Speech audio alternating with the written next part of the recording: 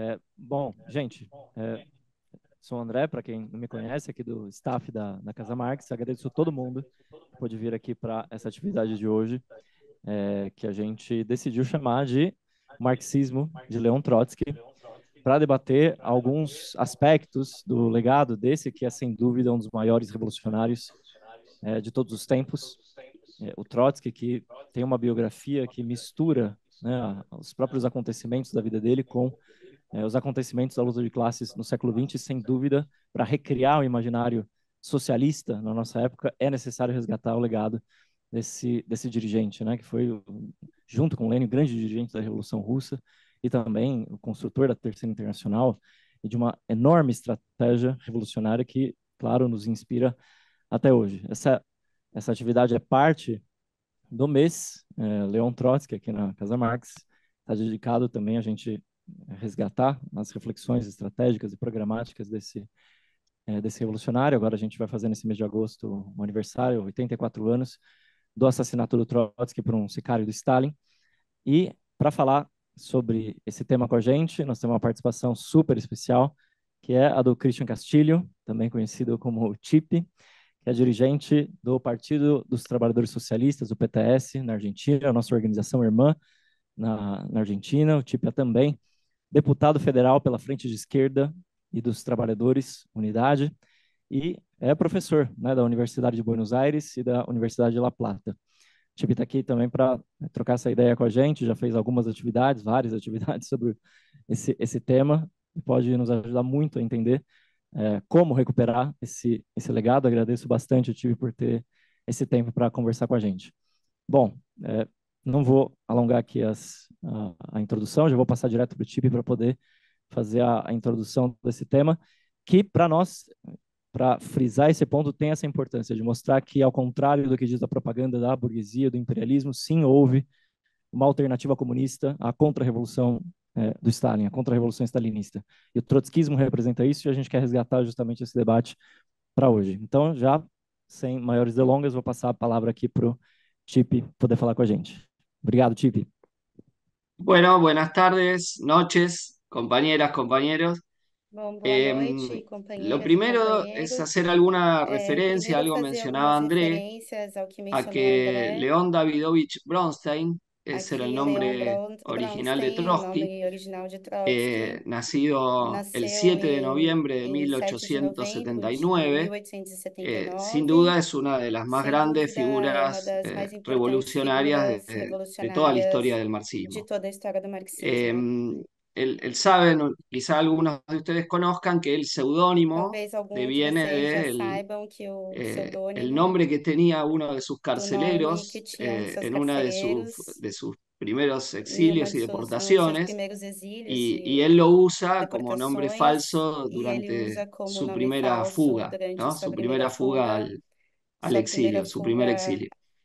Y, y su biógrafo Isaac Deutscher, ¿no? El Isaac autor de la famosa trilogía El Profeta Armado, eh, Profeta El Armado, Profeta Desarmado, este, bueno, no recuerdo el nombre de los tres tomos en este momento, pero eh, el- el- no me acuerdo del último, ah, el, el último profeta.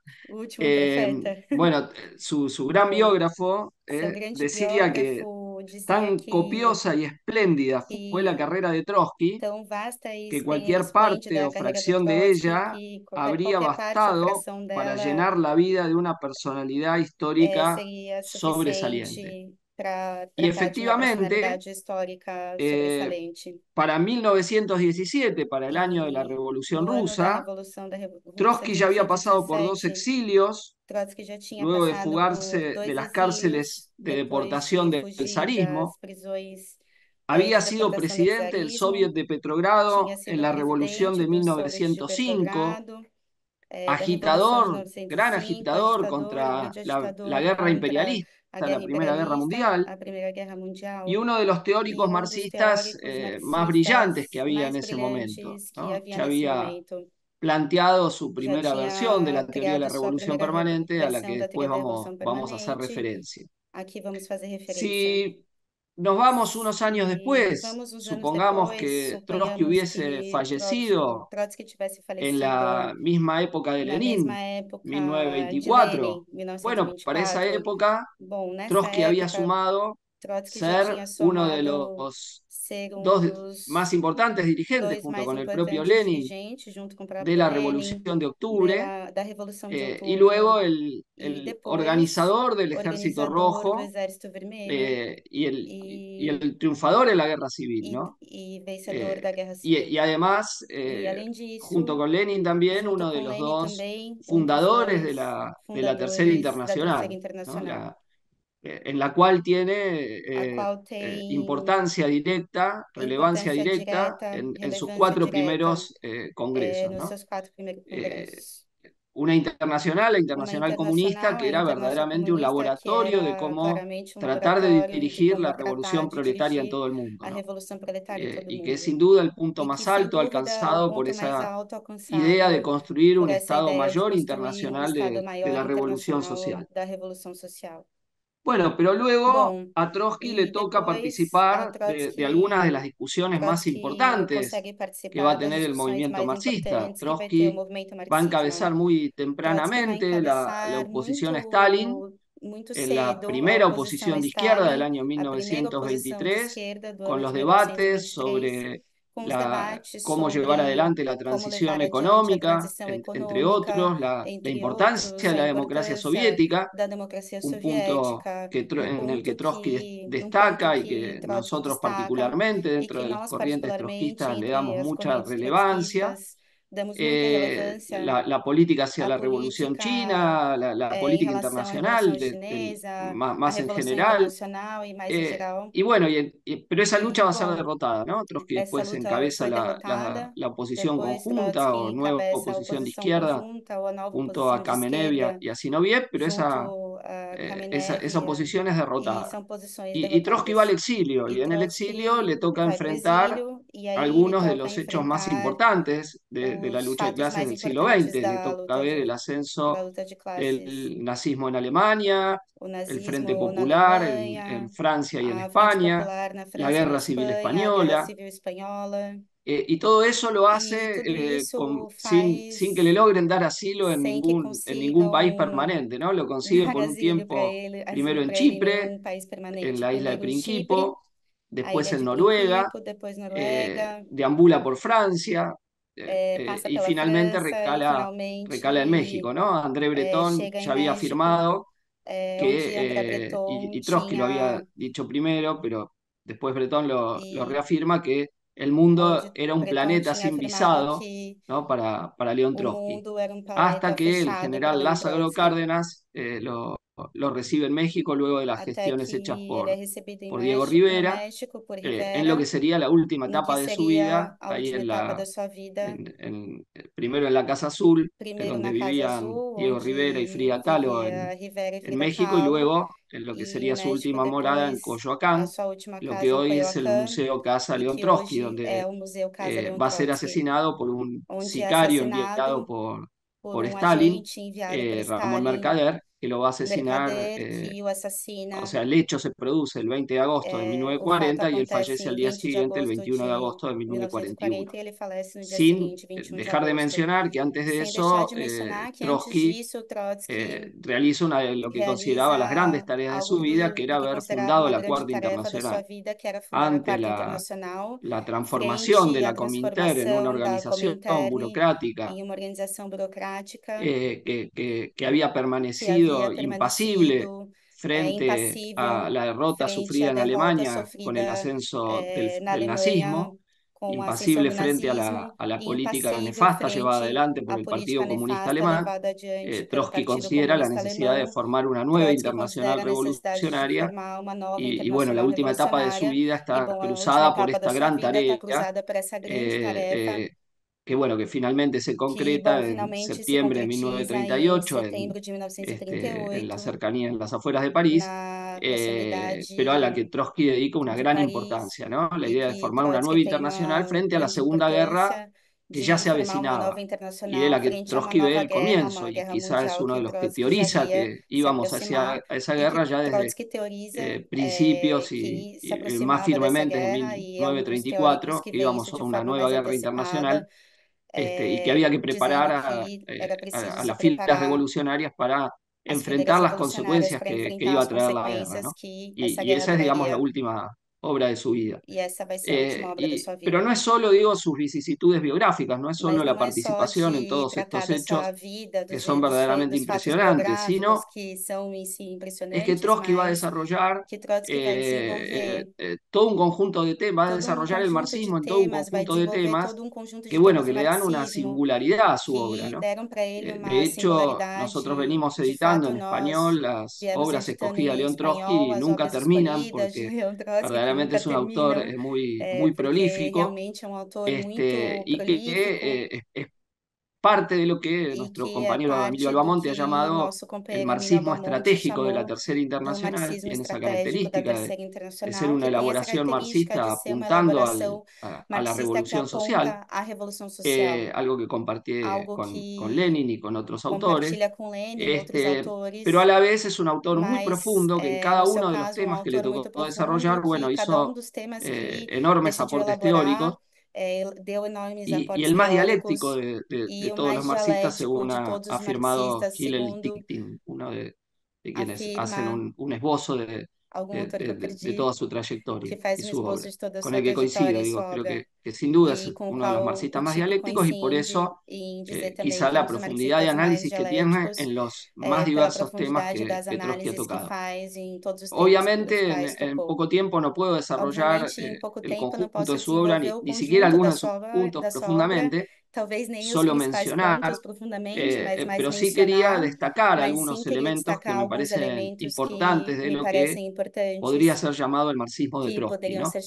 Algunas de Leon sus teorías eh, que, que, que, bueno, que, que me parece que cobran importancia hasta el presente, recoger, y, aportes que cobran importancia hasta el presente.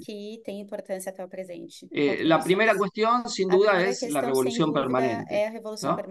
Como se llama el, el periódico digital de nuestros compañeros de Francia, Revolución Permanente, ¿no? Y, y su organización.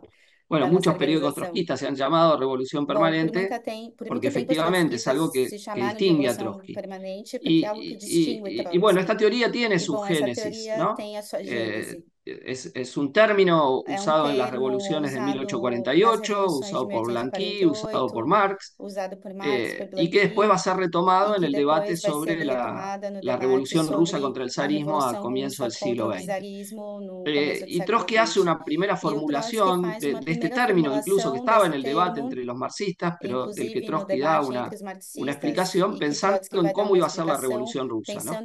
Y los marxistas esquemáticos os pensaban que iba a ser una esquemáticos repetición de las revoluciones europeas, en el sentido que en Rusia tenía que caer primero el absolutismo del zarismo, haber un periodo de desarrollo capitalista y posteriormente recién el proletariado plantearse la toma del poder.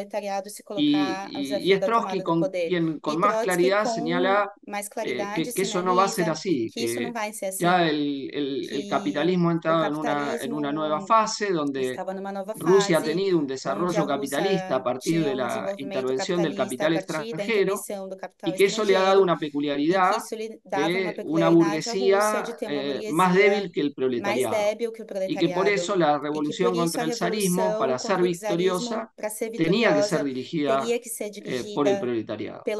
La formulación más clara de este punto de vista de Trotsky eh, está en un texto que se llama Resultados y Perspectivas, un texto que él escribe en la cárcel después de la derrota de la Revolución de derrota da Revolução de 1905, la 1905, revolución en la cual hace su aparición histórica el Soviet, que significa consejo, que era una reunión de delegados de trabajadores de las distintas eh, fábricas y empresas de San Petersburgo, lo que era entonces la, la capital del imperio zarista, y del cual ese soviet Trotsky va a ser el, presidente, va a llegar a la presidencia soviet. No es el primer presidente soviet, pero llega a la presidencia soviet. Y cuando viene la represión que, liquida esa fase de la revolución, Trotsky era el presidente del soviet. Y va a ser encarcelado en ese carácter y en la cárcel eh, escribe este gran texto marxista que es eh, Resultados y Perspectivas o Balances y Perspectivas seus la, traducción. perspectivas Bueno, y ahí. Trotsky desarrolla esta tesis, ¿no? De la especificidad que tenía da Rusia eh, eh, para permitir que siendo un país económicamente atrasado, sea el eh, proletariado el que conduzca la revolución democrática contra el absolutismo zarista, pero a la vez afirmaba Trotsky, el eh, proletariado, una vez en el poder, no se va a detener en los límites de la propiedad privada y la revolución democrática va a revolução transcrecer eh, en revolución socialista, va a devenir en revolución socialista. Y por ende, eh. Rusia podía inaugurar la etapa de, de- de- de los gobiernos obreros, de, lo que los marxistas denominaban eh, la dictadura del proletariado, un gobierno de la é, o clase governo da trabajadora ditadura y do empezar la proletariado, construcción del governo da classe socialismo, trabalhadora que Eh, começaria a construção Trotsky como parte revolución Trotsky europea. como parte da revolução es europeia. muy importante E esse porque ese livro é libro muito tiene una importante predicción porque esse livro teórica tem uma predição que se va a teórica confirmar 12 que años vai se después. confirmar Cuando uno 12 ve la anos mecánica depois, de la quando revolución rusa y su se vê a dinámica, la mecânica da mecánica de revolução clase y su, y su russa e dinámica, sua dinâmica da eh, luta de va, classes, va a darse cuenta que están vai se planteadas que estão en resultados y colocadas perspectivas, já ¿no? Es esos raros textos donde se materializa un pronóstico histórico. Obviamente mediados prognóstico por la Primera Guerra Mundial, eh, pero, pero eso es lo que vamos a ver, ¿no? En Primeira Guerra Rusia, el Mundial, mas isso é o que proletariado dirigiendo al campesinado eh, en el derrocamiento del, del zarismo, del régimen zarista, y luego del gobierno provisional, y empezando la construcción del socialismo en el primer estado obrero de la historia, basándose en una nueva forma política, eh, política, los- la, la democracia de los consejos, que heredaba lo mejor que había dado la Comuna de París, pero eh, planteando una nueva forma de democracia de masa mas colocando uma eh, nova forma que, de que- que democracia de expresaba el massas ejercicio del liderazgo del proletariado, ¿no? o, exercício de Eh, liderança do proletariado. Entonces, primer Então, pronóstico de esa primeiro revolución muy importante, revolução muito eh, donde se, se ve la, se esa vê debilidad de la burguesía para essa instaurar su debilidade propio dominio para y esa instaurar o seu próprio posibilidad domínio pa- e abierta essa al possibilidade proletariado y no desperdiciada por parte e não de, de los bolcheviques. por parte dos Em, bolcheviques. Y además tiene otra, otra predicción ese texto outras predições nesse eh, texto. que dice que la que revolución que a rusa va a ir hacia Alemania, eh, vai chegar pasando até a por Polonia, Alemanha, passando pela eh, y Que en Alemania puede haber un problema con el Partido Socialdemócrata, ¿no? Que la conquista más grande del proletariado hasta ese momento, que era el Partido o Socialdemócrata Alemán, eh, se transforma en una fuerza se co- transforma eh, conservadora que detenga la revolución, ¿no? Y lo, lo escribe esto en, eh, eh, ocho años antes de la capitulación de la socialdemocracia alemana en la Primera Guerra Mundial, el Guerra 4 de agosto de o 4 de 1914, agosto de cuando vota a 1914, favor de los créditos de guerra del, del de Estado imperial, do Estado eh, imperialista, con lo cual entra en la guerra y se hace cómplice de la guerra, ¿no? Y toma na una posición chauvinista en la Primera Guerra Mundial. Bueno, ese, ese aspecto conservador que después va a volver a expresarse Essa durante la Revolución Alemana de, de 1918, volta a que estalla en expressar na 1918. Revolução Alemã de Eh, bueno, 1918. Trotsky lo anticipa O Trotsky antecipa brillantemente en, en resultados y perspectivas brilhantemente también. em resultados e perspectivas também. Bueno, esta formulación Bom, que essa distinguía el punto de vista de formulação Trotsky que distinguia o ponto de de las outras predominantes tendências en el marxismo predominantes ruso, no el marxismo bolchevismo russo, y el menchevismo, o bolchevismo e o estando más cerca del bolchevismo, pero planteando con claridad que iba a ser el proletariado el que dirigía el que o campesinado e iba a que encarar o transformaciones socialistas, e un tema que Lenin deja más abierto um tema que Lenin por el peso que el campesinado tenía en Rusia, es una, na un planteo totalmente audaz, uma totalmente heterodoxo para el pensamiento marxista de la época, la formulación que hace Trotsky, época, eh, herético, hereje, ¿no? Eh, meio respecto de una lectura de uma eh, leitura eh, escolástica de, de- de los escolástica planteos de Marx, que sobre todo hacían los mencheviques, que decían, si es una revolución burguesa, la tiene que dirigir la burguesía, entonces el proletariado tiene que unirse a la burguesía liberal para derrocar al zarismo, eh, y eso es lo que se oponía tanto Lenin como Trotsky, que dicen, de ninguna manera la burguesía va a sostener al zarismo, y, la alianza obrera y campesina, esa alianza revolucionaria es lo único que puede voltearlo. Pero Trotsky con más claridad decía, el proletariado es el que va a tener el liderazgo y, y va a encarar desde lo vamos transformaciones de tipo socialista. No se va a detener a la puerta de la propiedad privada.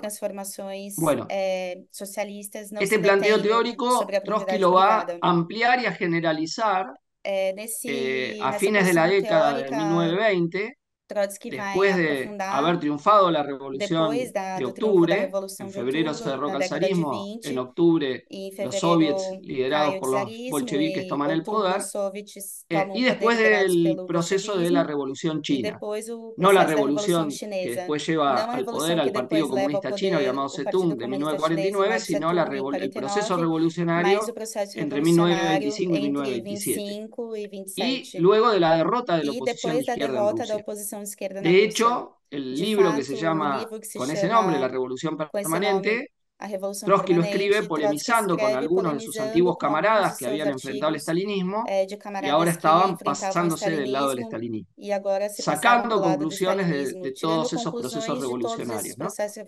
Es una teoría que condensa las lecciones de varias revoluciones. y que, como les decía, y, y que generaliza, vocês, y amplía, generaliza y amplía, eh, las reflexiones que estaban, reflexiones que en, estaban en, la primera formulación la de la primera teoría de la revolución, permanente. revolución permanente.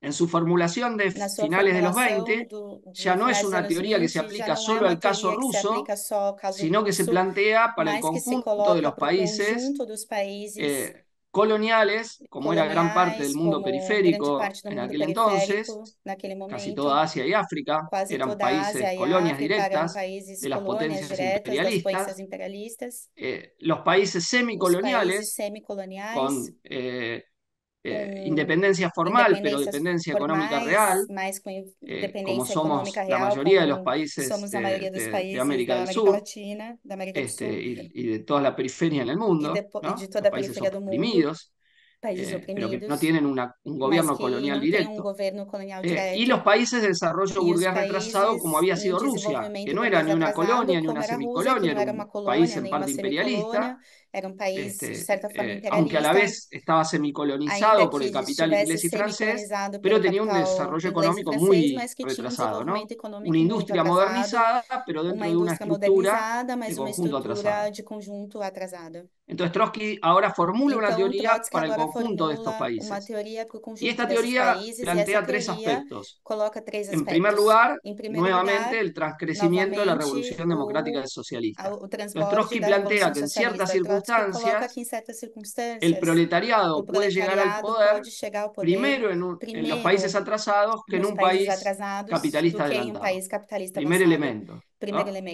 O sea, contra la idea de que la, revolución solo podía darse en los países avanzados, donde había más desarrollo capitalista, Trotsky plantea que no. Que ya el capitalismo vive su época imperialista y la época imperialista implica, imperialista implica en, uno de sus rasgos fundamentales la exportación de capitales.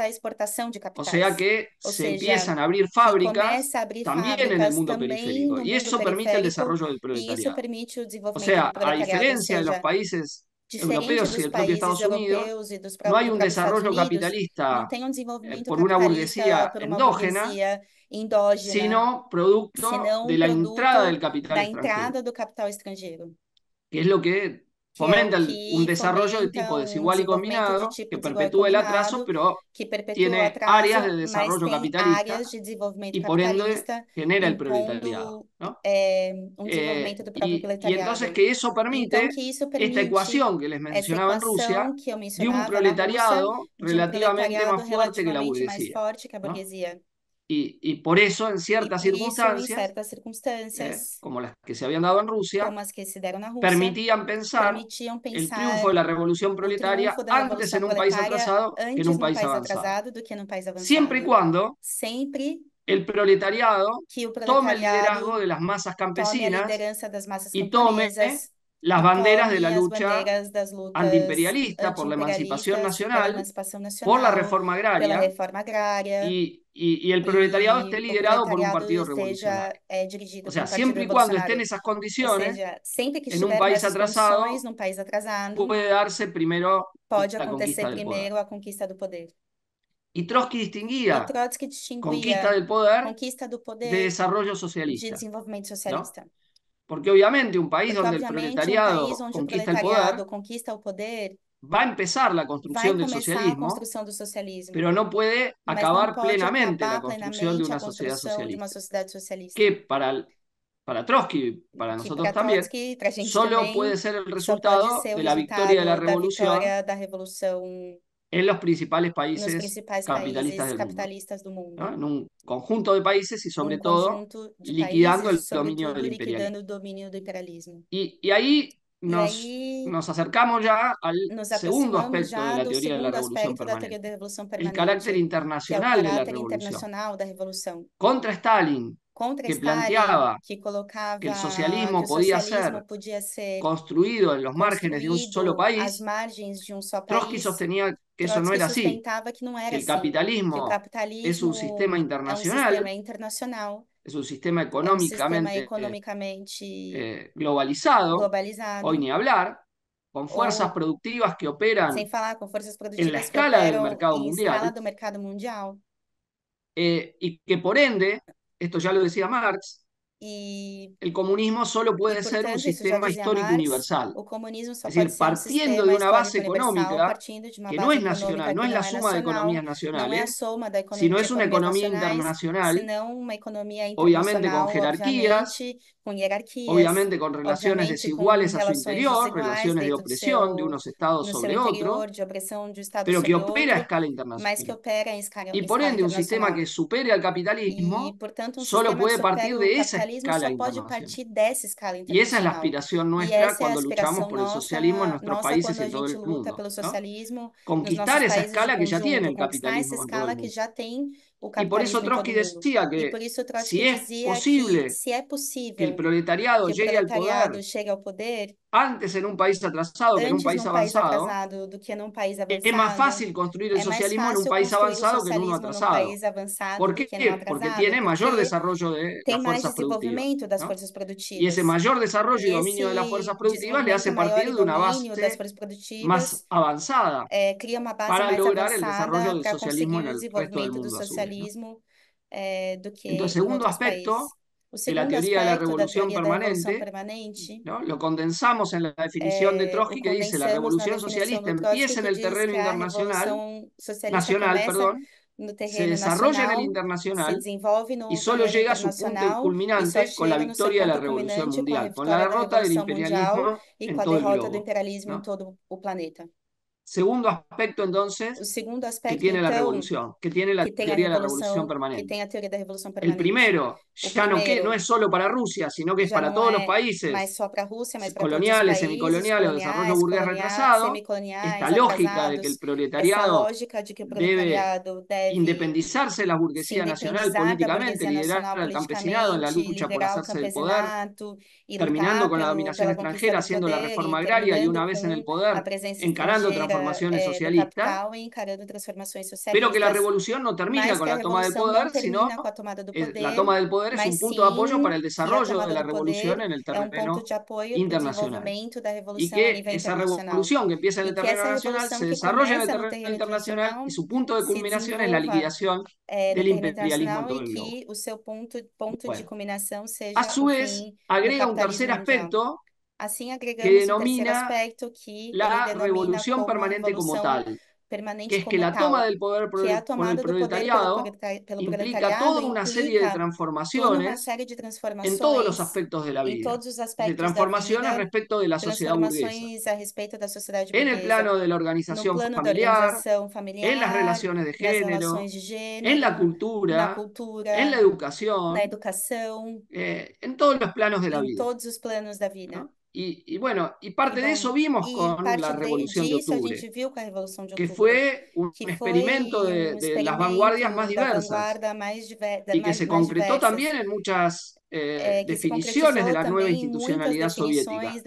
Por ejemplo, en el terreno de las mujeres. Un país que tiene, Um país que para tem, 1920 ya tiene el aborto legal. 1920, o aborto Estados é legal. Unidos recién Estados conquista Unidos el fallo de la Corte Suprema, ahora vuelto para é, atrás, en el año a Corte Suprema agora 1973. recentemente foi, é, Y Francia, apenas em la liberal 1973. Francia, Na França, eh, recién liberal en el França, mismo año, en el 74, no, no recuerdo exactamente, pero es en 74, esa fecha, recién conquista la legalización del aborto. conquista do Piensen aborto. eh, lo de avanzada que fue en ese aspecto la revolución eh, aspecto rusa. Revolução Russa. Y quita la eh, penalización de la homosexualidad. penalização da Eh, no porque la Não concepción porque fuese concepção plenamente fosse abierta, plenamente eh, aberta, como, o, o en el sentido que la tenemos ou hoy, como no pero sí porque fue ampliamente avanzada foi comparando con lo que pasaba en los o estados capitalistas, estados donde capitalistas, la Organización Mundial de la Salud Organização Mundial da consideraba a la homosexualidad una enfermedad hasta eh, até muy avanzado el siglo XX, muy é, avanzado el siglo XX. momentos muito tardios Y esta era XX. penada con persecución penal, E estava eh, ligada a, pena- perseguiço- a penaliza- perseguições penalizada, penaliza- penais, era este, en, en- penalizada en- en los estados imperialistas hasta estados también muy avanzado el siglo até XX. também muito ¿eh? recentemente. En Gran Bretaña, por ejemplo, o en E los Estados Unidos, donde esto dependía de cada Unidos, estado, de eh, cada pero en muchos estado, estados era perseguida, ¿no? estados era La perseguida homosexualidad. A Bueno, la homossexualidade. Unión Soviética de la A União Revolución fue Soviética, a despenalizada Revolução, por eh, la eh, revolución. despenalizou Los derechos a las homossexualidade minorías Revolução. nacionales, Os direitos das este, minorias la- las vanguardias artísticas, de las cuales todo el mundo habla hoy en las distintas um disciplinas. Quien estudia cine va a estudiar el cine de estuda cinema quien estudia diseño Eisenstein, gráfico, quem eh, estuda la- las vanguardias cenografia vai rusas, estudar as este, vanguardas en literatura, na en todos los terrenos que ustedes vean de la vida. que vocês vejam Fue una vida. sociedad vanguardista en pedagogía, en psicología, na hasta la victoria de la contrarrevolución até a stalinista. O sea, el periodo de oro de la revolución fue el periodo de las transformaciones en todos los planos de la vida.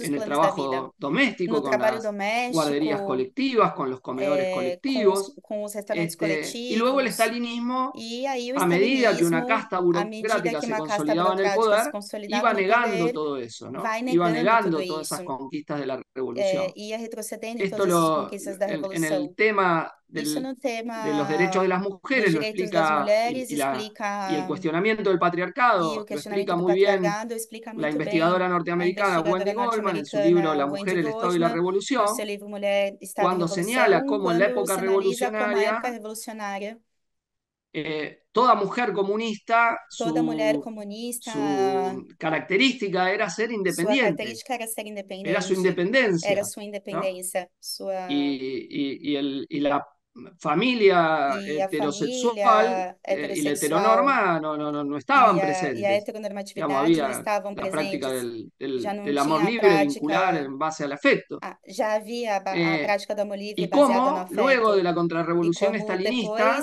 da eh, se vuelve a recrear la ideología de la mujer en el hogar, ¿no?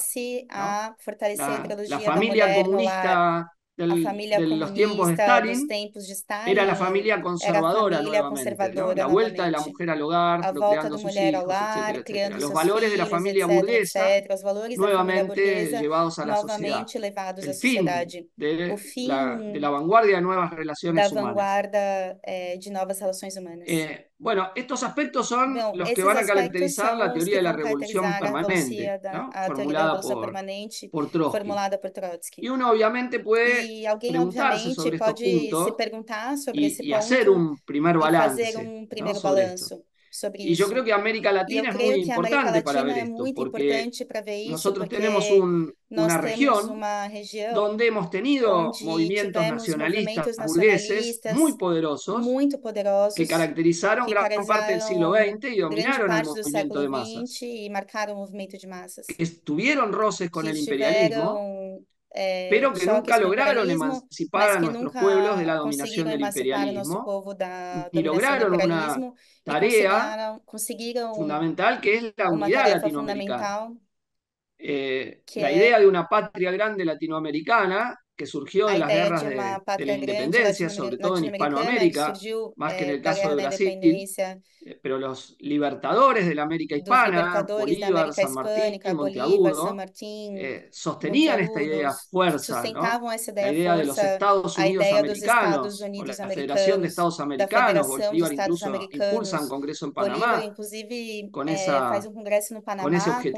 con ese objetivo. Eh, pero luego el derrotero de, de América Latina va a ser el derrotero eh, de la a fragmentación derrota da América Latina vai ser a derrota da fragmentação em distintas donde cada burguesía cada burguesia eh, vea qué potencia imperialista se, qual potência imperialista vai se relacionar Y e luego esa declamación de E la unidad depois, latinoamericana nunca fue eh, concretada por de los distintos movimientos nacionalistas foi burgueses. eh, Incluso ustedes distintos van a ver cómo estos mismos movimientos Inclusive, que esses mesmos tienen puntos de movimentos que contacto, pontos de el contato, varguismo en el caso de Brasil, no caso do el cardenismo en México, cardenismo no el peronismo en peronismo Argentina, na el movimiento nacionalista revolucionario en Brasil, no Brasil, de otras de características, pero también podemos ponerlo el APRA en Perú, colocar Lapa no Peru, van a ser movimientos que ellos mismos en la década de los mesmos, na década 90 en América 90, Latina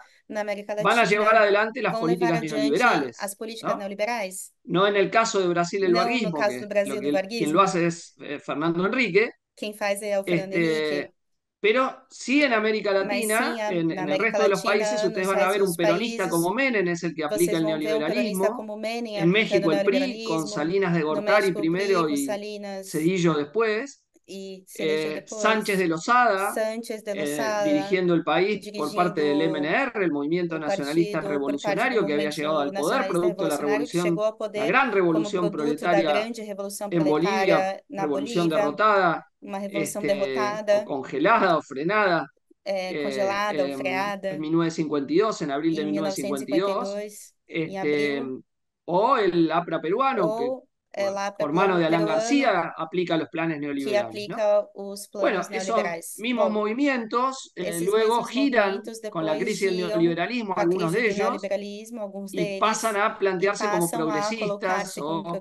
eh, de centro izquierda, eh, algunos más, un poco más con un discurso antiimperialista, un poco más profundo, en lo que fue la llamada década ganada de Latinoamérica, a, de a o la ola roja, la ola eh, rosa latinoamericana, ¿no? latino-americana, Eh, con eh, Lula en- los primeros gobiernos de Lula en Brasil, eh, Néstor Brasil, Kirchner en Néstor Argentina, Kirchner el Pepe Mujica del Frente Amplio Pepe en Uruguay, Mujica Frente Evo Morales en Bolivia, Morales Rafael Correa en Ecuador y Hugo eh, Chávez en, en Equador e Hugo Venezuela. Chávez na Bueno, Venezuela. En Bom, esa década mucho se habló de la unidad muito latinoamericana, eh, nuevamente, la patria grande, pátria etcétera, pero nunca se concretó. mas nunca se Ni siquiera negociaron en común sus deudas. Y todos los países seguimos dominados por el capital imperialista de una o de otra forma, con mayor o menor grado de, menor de autonomía, de autonomia, pero eh, con los, nuestros recursos estratégicos en manos del capital imperialista y en el caso argentino con una deuda absolutamente impagable con el Fondo Absolutamente impagável com o Eh, Fundo Monetário Internacional. bueno, o sea que pasado Bom, el siglo XX, si algo se ha mostrado es la incapacidad de Passou las o burguesías o latinoamericanas de terminar con la dominación imperialista y, permitir a nuestros países eh, salir del atraso. Algo que en algunos casos ha avanzado, estamos más atrasados que ah, antes, avançamos en no atraso, estamos mais poco, atrasados que antes, el, e em el outros eh, diminuiu um ¿no? pouco Y o aún en el atraso. caso más radical E ainda no de caso estos mais gobiernos, como radical el caso como foi o venezolano, caso venezuelano, donde Chávez tuvo roces con el, con el imperialismo estadounidense, que intentó darle un golpe de Estado primero en el año estadunidense, 2002 que tentou y que gozó 2002, favor de una renta petrolera muy e importante gozou de uma renda do eh, y un discurso importante, um socializante discurso y también socializante de, e eh, una, também de eh, de, uma nacionalizaciones de empresas. Sin embargo, empresas. nunca terminó con É, el poder de la burguesía y cuando cayeron los precios del petróleo, eh, la economía venezolana se derrumbó. se Cuando los precios del petróleo estaban os altos, Venezuela podía importar los bienes que consumía. É, Y hay una cierta importar redistribución para los más pobres. Cuando pobres. se caen los precios del petróleo, Venezuela se queda sin Venezuela fica fondos para importar.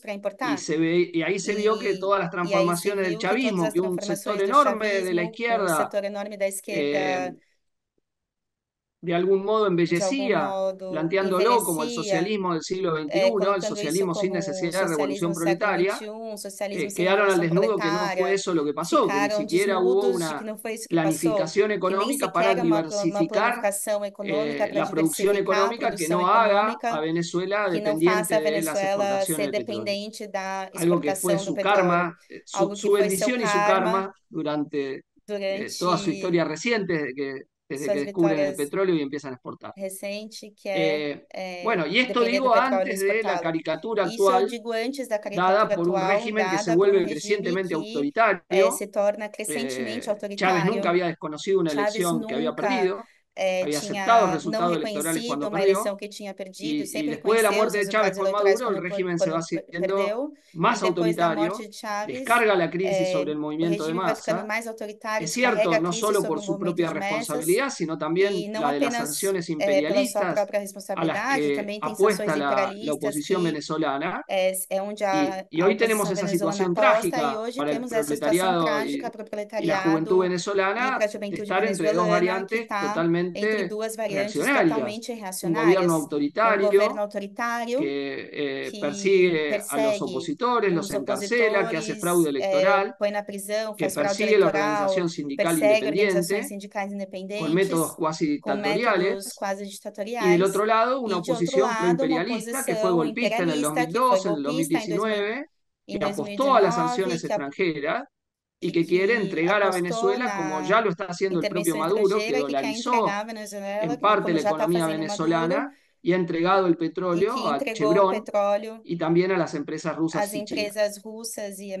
Entonces, la necesidad de la independencia del proletariado, no del- de la unidad con las burguesías da nacionales, no de frentes policlasistas unidade é, com a que burguesia, não é eh, no, no la expropiación não del vão capitalismo. Bueno, esta es do una necesidad clave, o sea, ¿quién va a dirigir al conjunto del movimiento de masas? conjunto ¿Las do movimento burguesías de massas, locales a o el proletariado, ¿no? Producto local de desarrollo burgués o un, o un Desenvolvimento programa de desarrollo burgués o un programa de revolución proletaria revolução acaudillando a, los campesinos, las masas é, populares, para barrer con la dominación de las burguesías locales y del, superar a eh, dominação das imperialismo. burguesias locais No porque no pueda imperialismo. haber roces entre las burguesías locales y el imperialismo. Si los hay, nosotros nunca vamos a estar del lado del imperialismo, siempre vamos a estar del otro lado, Nunca vamos estar junto enfrentándolo. com o imperialismo, ¿no? Y el propio Trotsky dejó esto muy claro cuando defendió a claro quando Cárdenas, defendeu eh, después de Cárdenas, que este expropió el que petróleo que expropriou o extranjero petróleo eh, de, de la- las multinacionales petroleras multinacionais y, y petroleiras era boicoteado por los distintos países del mundo, ¿no?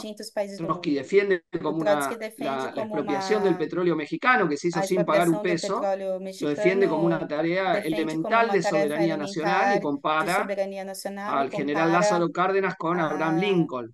Cárdenas en el sentido de Lincoln, la Lincoln, profundidad de la no medida que había, que había tomado que Cárdenas. tomado Cárdenas. Entonces, cuando nosotros Então, señalamos la quando nós necesidad de la dirección proletaria de la lucha antiimperialista, no es porque si se da esa lucha con una dirección burguesa, miramos para otro lado, não é sino porque porque decimos que para que esa lucha termine en, nacional, a en una transformación progresiva para mas el país, es porque necesario eh, avanzar en la progressista para o expropiación, conjunto do en país, é particular de la- del imperialismo y de la pela burguesía en su conjunto. eh, da burguesia de seu, em Bueno, entonces, conjunto. en ese sentido, nos parece que este punto que planteaba Trotsky, que ¿no? La necesidad de la dirección proletaria en los países atrasados para salir del atraso, eh, y que esto solo puede darse con la expropiación de la burguesía, da eh, con el proletariado eh, proletariado encabezando la lucha del conjunto de las masas, las masas campesinas, en los países donde hay un fuerte campesinado, de clases onde media baja y de todos los movimientos de lucha que se han desarrollado posteriormente, es una necesidad sin, sin é uma eh, clave, una necesidad central, nodal, central, este, sin la cual no puede haber transformaciones pode eh, progresivas, más allá de mejoras que pueden darse en un além periodo, ¿no? Esto no disso, quiere decir que la é, economía está podem siempre igual o que nunca período, puede é que a eco- haber menos está pobres o igual, desarrollarse un área de la economía, etcétera. que Estamos hablando de salir de ser un país eh, dependiente possível o colonial, o, o colonial, si se puede terminar de ser una colonia o semicolonial, ¿no? ou Romper ese semicolonial, carácter atrasado y dependiente de nuestras economías. Bueno, el, el na segundo aspecto, después de la caída del estalinismo, creo que también da queda quedado do claro, ¿no? claro. Eh, no, los que se llamaban países comunistas socialistas no eran comunistas ou comunistas, ha- eram ha- había habido comunistas, transformaciones porque la burguesía había sido expropiada, pero la planificación burocrática había resuelto algunos problemas, eh, pero hecho de forma tal de que tenían enormes límites, ¿no? Eh, aunque durante un momento la Ainda que planificación um burocrática, en el a caso de la Unión planificação Soviética, le permitió un despegue muy grande de esa economía. Lo mismo va a um ocurrir en China y lo mismo en otros mesmo países donde la China, revolución triunfa. a. Pero llegado a cierto nivel Mas se topan a con los límites del que control burocrático y también con los eh, límites de la escala de las economías, ¿no? da Y, y bueno, y, bom, y finalmente la competencia, el imperialismo triunfa en a, la Guerra Fría, a el estalinismo se derrumba o eh, y, y se muestra la imposibilidad de terminar de coronar una sociedad socialista o comunista eh, de en los marcos de, las fronteras nacionales. no marco das Esto es importante porque la importante porque a burguesía ha eh, identificado el comunismo con totalitarismo burocrático. com totalitarismo El burocrático. propio Stalin había hecho un cambio Stalin eh, ligando como el, el Estado más desarrollado es más comunista. Y en realidad para é, los marxistas es al revés.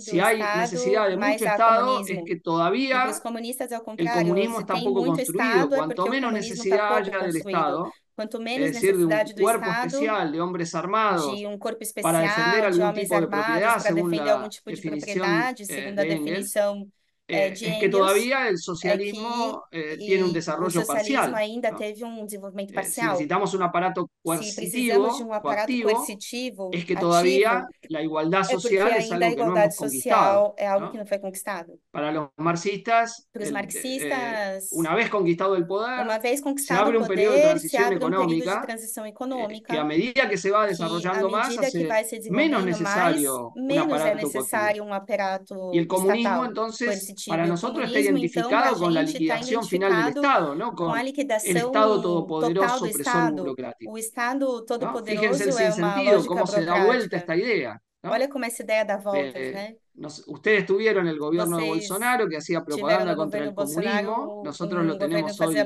Milei, comunismo. Milei y hacen la misma propaganda de identificar comunismo con totalitarismo comunismo com burocrático, totalitarismo burocrático. cuando para nosotros el comunismo es la llegada real del reino de la libertad y el fin de la necesidad de una coacción sobre los miembros de una sociedad. Es el desarrollo pleno de los medios que hoy tenemos a disposición dos y meios otros que que à desarrollemos, e outros que este, pero que que podemos hoy en la sociedad capitalista van al servicio de los monopolios y en la sociedad socialista irán al servicio de satisfacer las necesidades humanas, eh, no a partir de una decisión humanas burocrática tomada desde arriba, sino a partir de la planificación democrática de los recursos de la economía. Es a lo que nosotros apostamos. ¿no? Un esquema diferente de reorganización de la sociedad, no en base a su movimiento por la ganancia capitalista, sino en base a una planificación en función de definir prioridades a partir de la intervención democrática del conjunto de, de la población. Un nuevo tipo de democracia que no se restrinja al voto para representantes políticos, sino que dirija también las relaciones de la vida económica y con el involucramiento creciente de toda la población movimento en la dirección de los asuntos públicos. Dos assuntos públicos. Esa es nuestra ambición y Essa é nossa restauración del, ambição del na término socialismo y termo, comunismo que, por el que luchamos, lo que Trotsky llamaba la democracia soviética. de democracia soviética. Eh, Bueno, yo quería hacer mención a dos cosas más y, y dejo para, para hacer preguntas, para no, no, este, no monopolizar todo el tiempo solamente la exposición. Somente na Eh, exposição. obviamente hay muchos aspectos Obviamente, de, muitos la- de los aspectos planteos teóricos de da, Trotsky muchos planos que no, que no me voy a referir. Pero Trotsky, hay dos o tres que, que sí tenemos que mencionar que particularmente. Uno es que Trotsky es también injusto con quien plantea la teoría de la revolución permanente, que a mi de entender sigue da siendo una teoría Permanente, que termina eh, sendo teoria actual, contemporánea, de la cual nos tenemos que valer para la lucha revolucionaria, la lucha por terminar con el capitalismo y la dominación imperialista. e a opressão Trotsky es imperialista. también quien explica la burocratización de los estados obreros, ¿no? Es quien formula la teoría del estado obrero degenerado, burocratizado, que plantea la que diferencia entre la base eh, social heredada de la revolución y la superestructura política que tiene un carácter ya contrarrevolucionario, já pero que mas se- que no, no, no había podido avanzar primero en la liquidación a de las conquistas das conquistas económico-sociales de la revolución. sociais da. Eh, y bueno, y Trotsky es quien formula esto con Trotsky claridad.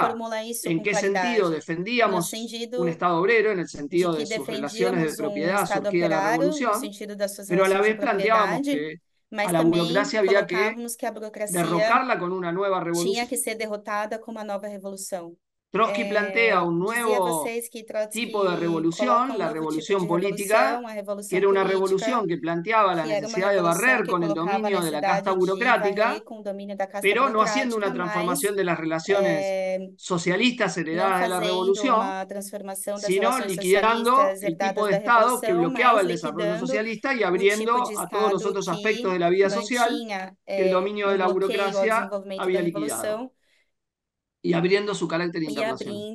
Bueno, esto no a triunfó, triunfó la restauración capitalista Bom, y toda una ideología a identificando el restauração comunismo con el estalinismo, a que es algo que, contra el cual nosotros tenemos que luchar, y si no hubiese existido la lucha de Trotsky y las enseñanzas teóricas de Trotsky, no tendríamos os alternativa, de que es Trotsky, lo que le pasa tivesse a los estalinistas que ustedes tienen en, en Brasil, que tienen que reivindicar el estalinismo, un régimen monstruoso que que tenía campos de concentración, que perseguía a los homosexuales, que era homossexuais, bastante que era misógino, bastante este, que misógino, reproducía las que relaciones reproduzia as patriarcales, relações de que oprimía patriarcado, que oprimia nacionalmente nacionalmente eh, y que defendía toda e que forma de opresión todas política. formas de opressão Es decir, un modelo que hoy no puede ser deseable por que las masas de, de ser ningún país, pelas massas de nenhum ¿no? Vivir en la país. opresión política. Viver sob Maduro, opressão política, ¿se entiende? Maduro, Maduro es se capitalista. Maduro é Pero imagínense que hubiese expropiado a la se burguesía que tuviese ese expropriado régimen. a ¿Quién querría vivir en una dictadura É, policíaco quem militar? gostaria de viver com, O, o decirnos que ese es el objetivo por el que tenemos que luchar. No, nosotros que queremos una democracia que sean consejos de trabajadoras y trabajadores que decidan democráticamente los destinos de la sociedad. que No que venga un dictador suelo de turno a decirnos qué hay que hacer y que la policía que política tem sea que el, fazer uma polícia el- política, el- lo que tiene el régimen para, para mostrar, o que mientras sus que que dirigentes vivan bien, el resto de la población viva que mal. Puede haber, obviamente, bem, bloqueos y circunstancias económicas difíciles, las va a haber, toda Há, revolución pasa por eso. El tema es si los dirigentes tienen toda privilegio passa por o isso. A, pasan a questão é eh, la situación del os resto de la población, têm ¿no? privilégios ou se passam essa situação Esa es la a diferencia. Essa é a Y en los regímenes estalinistas la burocracia tenía claramente a privilegios. a burgue- Por a eso nosotros enfrentamos todos los privilegios de, de la Por burocracia. isso, nós Bueno, criticamos es- todos os eh, privilégios esa- da eso fue otro gran planteo de Trotsky, Este foi outro importante grande para eh, el programa que hay de que levantar en países como Cuba, donde eh, de aunque ha avanzado la restauración todavía no se ha consumado, Cuba, pero es una eh, lógica política que puede volver a reaparecer en algún otro proceso ser revolucionario. Y donde nosotros em defendemos eh, la, la pluralidad del E partido nós soviético. defendemos a pluralidade Eh, dos y partidos. acá hago una pequeña digresión, porque el, el PTS, partido al que yo pertenezco, y toda o la, ao la, la FT, la fracción trotskista por la fração Internacional, de la cual el MRT es parte, eh, tenemos una distinción dentro de las tendencias del movimiento trotskista a nivel internacional y de la izquierda mundial, en que somos los defensores a muerte del desarrollo de los soviets, consejos obreros y formas de lucha de Frente Único de Democrático desde abajo que vayan prefigurando el tipo de Estado que que vão gobierno de los fazendo trabajadores. experiências do que seria um tipo de Estado Estado sob a direção dos trabalhadores, baseado eh, sobre a Entonces, democracia defender dos la máxima e democracia obrera, la explorados. democracia de las Sempre asambleas, defender de los cuerpos delegados, de la das coordinación por assembleias, corpo de abajo, delegados, es da para por clave central y é defender la a pluralidad gente política de todas tendencias para contra defender toda a pluralidade burocracia. política de todas as Luchamos por tendências eso en los contra a burocracia. sindicatos y en crear Lutamos otras por isso nos organizaciones sindicatos, que em outras aún a las organizações que masas no abriguem sindicalizadas. as massas não Entonces, esto es importante. Bueno, Isso é el, el último aspecto Bom, al que quiero hacer referencia que quero fazer está ligado al, a un texto que Trotsky redacta que Trotsky como programa fundacional de la Cuarta eh, Internacional en como um programa 1938, que es el programa de transición. Internacional em 38, que é o Un texto muy debatido. Um texto De hecho, muito hay un texto debatido, de fato, publicado hace poco texto por nuestro compañero Matías Mayelo, que trata de varios de los debates Maiello, sobre el programa de transición. que trata de vários Eh, debates pero sobre sin, programa de no, no me voy a referir a todos esos debates, pero vou sí señalar la utilidad que ese debates, texto tiene para la lucha texto tem contemporánea, para la lucha cotidiana. No, cotidiana. nosotros estamos viviendo ese mismo estamos momento, vivendo esse mesmo momento, elementos de ainda contacto que temos escrito, elementos de escrito contato, eh, cuando estaba por empezar la foi Segunda Guerra Mundial, en medio de una crisis capitalista Segunda Guerra catastrófica, Mundial, frente a ¿no? uma crise Eh, capitalista y no porque el mundo catastrófica, haya sido exactamente igual, ahí mundo hemos tenido é, muchos debates con exatamente igual. otros compañeros trotskistas que outros hacían una eh, que, lectura libresca del programa de transición eh, do y que no pudieron interpretar el mundo de la interpretar o segunda mundo posguerra, donde el capitalismo tuvo un resurgimiento en, en los países centrales, o capitalismo teve um ressurgimento eh, centrais, sino porque nos da todo un mas método cual dá nosotros um intervenir documento programáticamente, ¿no? Eh, el que nos ajuda a intervir partiendo de las programaticamente, demandas qual inmediatas de las masas, eh, das vamos planteando todo un sistema eh, de e a partir consignas y daí vamos demandas que um sistema de apuntan a generar la idea, la apuntam, que necesidad de que la clase obrera tome el poder, a ¿no? A eso de apunta el programa de transición, a o superar la brecha entre o las de condiciones objetivas del capitalismo eh, imperialista, maduras para la revolución proletaria, y la falta de una conciencia eh, revolucionaria en para a el movimiento de masas. proletária a falta El de programa de transición es eh, el que intenta superar esa brecha, de ayudar a superar esa brecha essa y llevar al movimiento de masas a la de necesidad a de hacerse del poder. de Obviamente ese programa Obviamente, responde programa a eh, responde muchos elementos de la coyuntura política en el cual es redactado, pero tiene aspectos que son escrito, importantes para pensar nuestra contemporaneidad.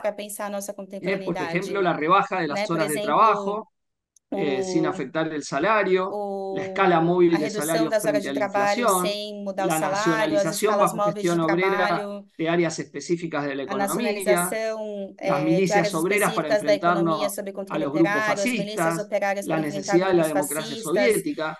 Bueno, son algunos de los puntos Esses están são alguns plasmados dos en ese pontos gran que estão programa que es el plasmados nesse programa grande de programa que é o transición. programa de transição. Y como les decía, E como este programa no es vocês, un esse programa programa não é um de alguien que programa escribía de alguém que eh, por escrevia una, por eh, uma un interés intelectual, académico, sino de un revolucionario que estaba eh, eh, revolucionário que escribiendo un estava texto que fue escrevendo aprobado y um texto votado que en el foi Congreso de aprovado e de votado la no Cuarta Congresso Internacional, alguien que estaba fundacional construyendo da una Quarta organización Internacional revolucionaria, e que estava construindo uma internacionalista. organização revolucionária es un aspecto internacionalista. clave de Trotsky. Esse é um Trotsky es aspecto un chave de marxista Trotsky. O Trotsky é um profundamente marxista internacionalista. profundamente Eh, internacionalista. y, y es algo que nos caracteriza E quienes é nos algo que nos reivindicamos de, e de su que nós legado. reivindicamos Eh, obviamente, y con esto termino, com el, el termino. capitalismo contemporáneo capitalismo tiene sus contemporâneo propias características. características. Nosotros tenemos nuestro Nós propio tablero político que enfrentamos, ¿no? Un eh, mundo que donde hay una lucha por mundo la hegemonía uma entre Estados Unidos y China, entre Estados hay Unidos e poderes China, regionales, eh, hay guerras, como la que está llevando adelante Israel contra el pueblo palestino, una guerra de exterminio, un verdadero genocidio, la guerra entre Rusia y Ucrania, e eh, otras más que hay en, en este momento en el que mundo, eh, y, hay catástrofes económicas y hay levantamientos de masas. e O sea, a nuestro entender estamos viviendo una reactualización de la época de crisis, guerras y revoluciones y, y el, todo el e, contexto general eh, geral va hacia que, eh, que vamos a vivir situaciones revolucionarias y contrarrevolucionarias eh, crecientes. Y para eso es nuestra para preparación política, nossa para tener eh, partidos y una internacional revolucionaria que pueda intervenir en esas, en esas instancias cuando las masas se as a, a tomar el cielo por asalto. Eh, en, en el siglo XXI todavía no hemos visto revoluciones victoriosas, sin muchas rebeliones populares, revueltas. Rebeliões populares, Eh, revoltas. y bueno, y, y- y veremos si bom, nos toca veremos eh, vivir nos alguna, pero no hay nada alguma. que diga É, que así como en el siglo XX el, el poder de la burguesía XX, fue derrocado en distintos países, derrotado em aunque luego la burocracia países, hizo retroceder esas conquistas, en el siglo XXI no vamos a abrir de nuevo a la posibilidad de, experimentar la construcción de una XXI, a sociedad gente socialista talvez sin ningún viva tipo de novas oportunidades explotación de ni construir opresión, uma nova sociedade socialista la sem nenhum finalidad tipo de, de opressão e lucha. exploração, que é a Eh, bueno, finalidade da yo nossa paro acá para las Bom, para aqui interrogantes. Espero que les haya servido esta servido al marxismo de León Trotsky. introdução ao Cada marxismo uno de puntos que desarrollé merece un tema Cada particular ponto que eu desenvolver bueno, y hay un um montón más, ¿no? La obra de Trotsky, um como les decía, de es obra A obra de Trotsky, como eu impresionante. disse, é uma obra solo impressionante. Ahora estamos por editar los escritos Agora militares de, de Trotsky que recopilan textos de, de la guerra civil rusa, la lucha contra el fascismo en Alemania, la lucha contra el Frente Popular, sus escritos sobre la guerra civil española, sus escritos latinoamericanos hechos a partir de, su llegada a México. bueno, los, debates internos en, las filas del trotskismo en los que Trotsky mismo interviene. Bueno, son un montón de temas, o la, revolución traicionada, temas, a, el estudio sobre la burocratización en la Unión Soviética, burocratização da União impresionante, un gran estudio de sociología marxista, de inigualable para dar cuenta de, ese fenómeno tan contradictorio que era la Unión Soviética los 30. contraditório que é a União Bueno, es una obra que llamo a 30. que ustedes estudien, insisto, no para pensar que los problemas y el mundo que tenemos es igual al que tenía Trotsky, sino para não seguir su propio método, iguais para ao con mundo que nuestras vivia propias Trotsky, cabezas desarrollar creativamente cabeça os problemas eh, el marxismo concretos, revolucionario. é, pensando Bueno, criativamente os problemas para o paro. marxismo revolucionário. Bom, para aqui. Hum? Hã? Tá. É, Eh, Chipi, Sí, hubo um hubo un problema de problema de internet internet en en este este segundo. segundo, Así que así que vuelven los vuelven los compañeros y hacen las preguntas. preguntas. Se están Se organizando ahí. Pero Pero escucharon escucharon todo. todo, Vinieron vinieron acá para decir para que que escucharon escucharon todo. Ah, bueno, bueno.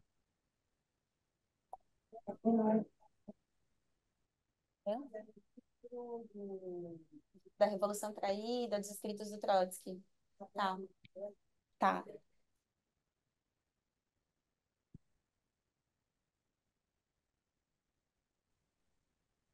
Acá estamos Acá en un estamos día en un día de, de, mucha de mucha lluvia lluvia y está y terrible está terrible todo de la, de la, obra de la obra pública en pública el en el país. país. Eh, cuando hay Eh, cuando hay lluvia, lluvia, se cae perdemos internet. perdemos conexión, conexión, perdemos todo. Todo. Perdón, no te Perdón, no te escuché. escuché. sí, sí, digo que se cae internet cuando hay, Voltou? cuando llueve. Sim. Tá, tá bom. Solo un Solo un poquito poquito más. más.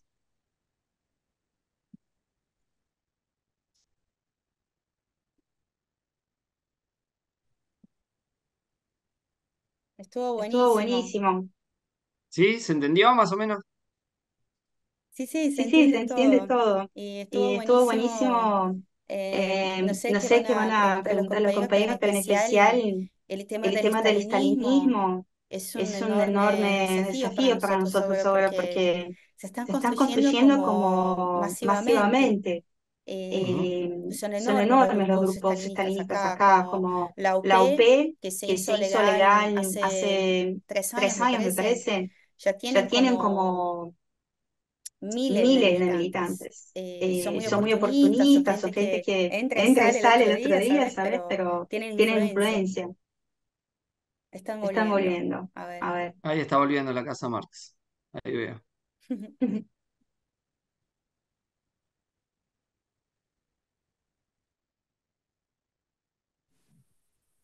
Ah. Ahora te escuchamos bien, Chipi. Ahí se escucha bien, ¿eh, Andrés. Se escuta bem, André? Sí. Sim, Perguntas. Outro. Alô? Bueno, vamos con las Bom, preguntas. gente, aqui agora voltou o som. Agradeço o Tipe, foi excelente essa exposição. Conseguiu, em pouco tempo, conseguir cobrir uma enorme gama de discussões estratégicas e programáticas do Trotsky. Agora eu queria abrir para o pessoal que quiser comentar, fazer perguntas, para a gente poder dialogar aqui. Alguém quer começar?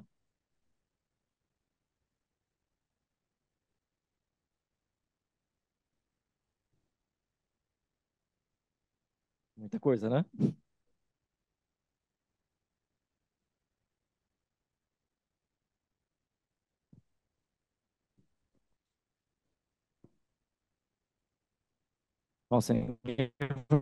Fazer, eu vou fazer uma pergunta rápida aqui, só para o Tipe poder comentar, que é, me lembra muito o, o Isaac Deutscher, né, que é o principal biógrafo do Trotsky, ele chega a comentar, é, quando vai tratar desse período finalzinho da década de 30, e os esforços que o Trotsky tem para formar a Quarta Internacional, ele trata essa, essa, essa ideia do Trotsky, essa orientação política dele, essa batalha por, pela reconstrução de uma internacional revolucionária como uma atividade um pouco voluntarista da parte do Trotsky, como se não fosse o, naquele momento que existiria de mais importante. Eu queria que você comentasse de um pouco isso, né, rapidamente desse um, uma, uma opinião sobre essa visão que o Deutscher tem desse momento.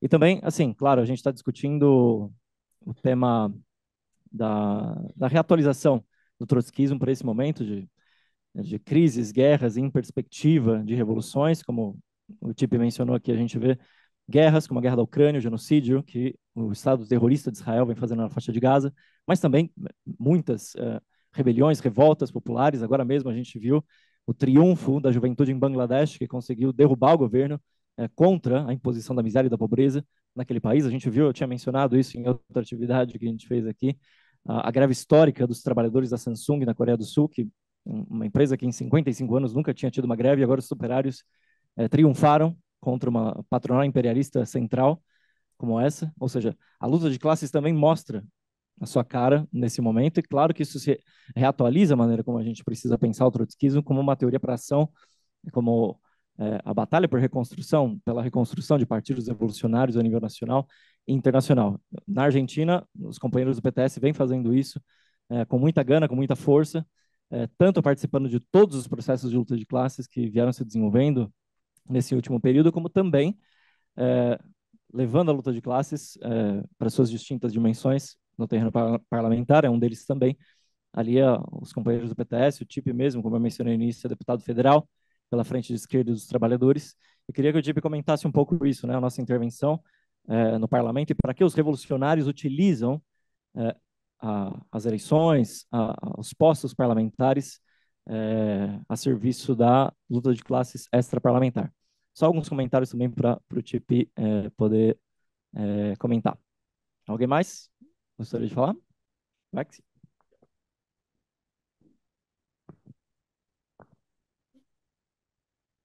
É... Oi.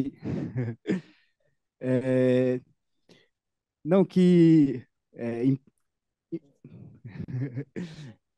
que impressiona como como que os revolucionários nos momentos decisivos, é, como foi aqueles preparativos das duas guerras mundiais conseguem fazer é, os prognósticos é, bastante corretos, né? Claro que, que nunca é num sentido especulativo, tem um, um, elemento muito científico também de análise política dos estados, análise é, da luta de classe internacional, mas pegando esse gancho que o Christian é, foi é, citou, né, em determinado momento, é, que frente à situação mundial de hoje, e lógico com adendo de não ser exatamente ali um pré-guerra, com o aumento de conflitos interestatais é, dentre os principais países capitalistas, frente aos efeitos da crise e das guerras, que está gerando ondas de revoltas, é, ao mesmo tempo um grande ausente desses processos, que é o desenvolvimento de auto-organização da classe trabalhadora, é, auto-organização operária, e também é, a existência de uma grande divisão que existe entre negros e brancos, homens e mulheres,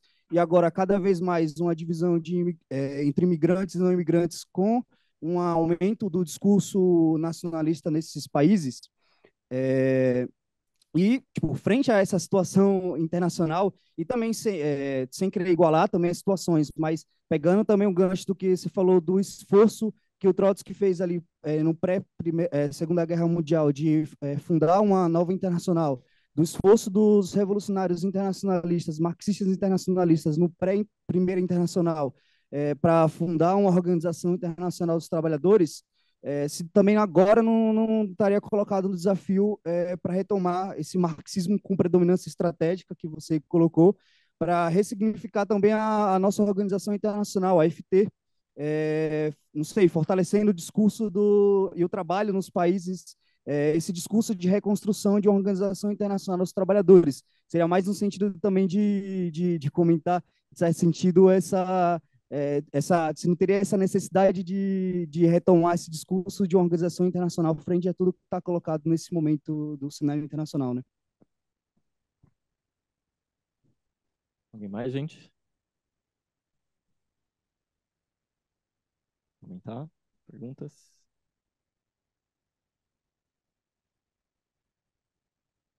Olá, Grazi. Grazi.